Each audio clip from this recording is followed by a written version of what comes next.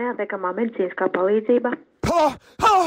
Labi, manam draugam ir raķeite uzsprāga rokās. Viņam ir sadragāta plauksta no pirkstu. Visus norauj, visus pirkstus norauj, tikai āda karājās. Viņš te besamaņā, viņš guļ zemē, besamaņā. Ko darīt? Ko darīt?